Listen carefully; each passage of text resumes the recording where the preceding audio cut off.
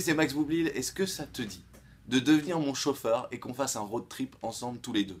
Moi, ça me chauffe. Moi, ça me chauffe que tu me chauffes. Donc pour ça, je te propose d'aller télécharger l'application YouDrive. Et le meilleur chauffeur, eh ben, gagnera le concours et aura le droit de me chauffer toute la journée. Voilà, c'est sympa. Hein. Attention, avant d'aller euh, télécharger YouDrive, pas de... Hein, ni de... Ni de... Hein, ni de... Hein, je veux un bon chauffeur, moi. Qui me chauffe bien. Bisous.